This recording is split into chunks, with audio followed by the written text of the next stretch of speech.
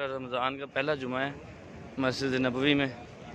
माशाल्लाह देखें ज़रा, ये अफ्तारी का निज़ाम है। और इसी तरह बाहर है, वो आगे तक जो है ना, इसी तरह लोग बैठे हुए हैं, अफ्तारी कर रहे हैं। और ये बुला बुला के माशाल्लाह जो है, अफ्तारी करवाते हैं बंदों को।